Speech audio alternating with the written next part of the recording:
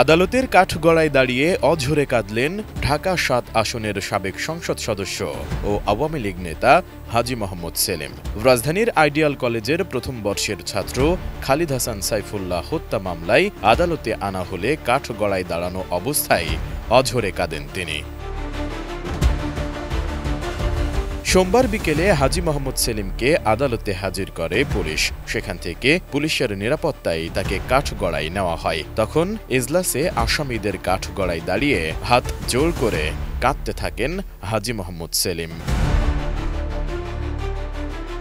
লালবাগ থানার আইডিয়াল কলেজের ছাত্র খালিদ হাসান সাইফুল্লাহ হত্যা মামলায় দশ দিনের রিমান্ড চেয়ে আবেদন করেছিলেন লালবাগ থানার উপপরিদর্শক আক্কাস মিয়া। শুনানি শেষে আদালত তাকে পাঁচ দিনের রিমান্ডে পাঠান। এর আগে এক সেপ্টেম্বর মধ্যরাতে গোয়েন্দা পুলিশের একটি দল পুরান ঢাকার বংশাল এলাকা থেকে তাকে গ্রেফতার করে। মামলার অভিযোগ থেকে জানা যায়, বৈষম্য বিরোধী ছাত্র আন্দোলনে গত আঠারো জুলাই লালবাগের আজিমপুর সরকারি আবাসিক এলাকায় আইডিয়াল কলেজের প্রথম বর্ষের ছাত্র খালিদ হাসান সাইফুল্লাহ গুলিবিদ্ধ হয়ে মারা যান। এ ঘটনায় তার বাবা কামরুল হাসান উনিশ আগস্ট লালবাগ থানায় একটি হত্যা মামলা দায়ের করেন।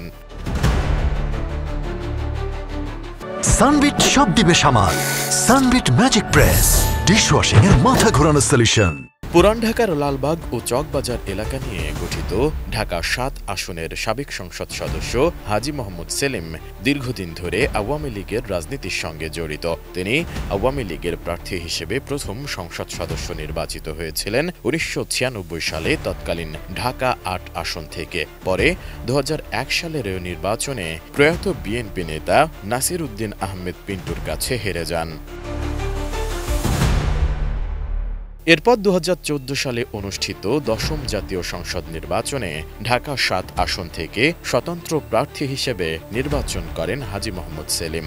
ওই নির্বাচনে তিনি আওয়ামী লীগের মনোনীত প্রার্থী মোস্তফা জালাল মহিউদ্দিনকে পরাজিত করে সংসদ সদস্য নির্বাচিত হন।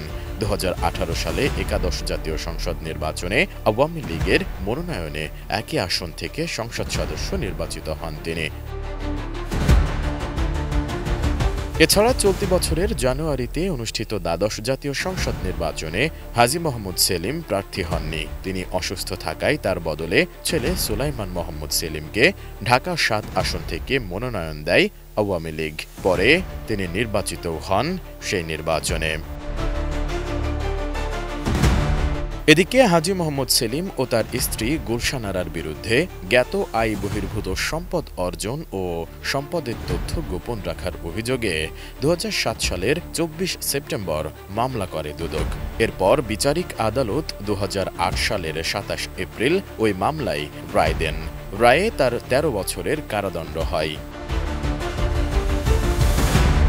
পরে দুহাজার বাইশ সালে ওই মামলায় হাজি মোহাম্মদ সেলিমের দশ বছরের কারাদণ্ড বহাল রেখে দেন হাইকোর্ট। সেই সাথে আদালতে আত্মসমর্পণ করেন তিনি। কিছুদিন কারাভোগের পর দু হাজার তেইশ সালের জানুয়ারিতে উচ্চ আদালত তাকে জামিন দেন। S I Raj, ATN news, Dhaka.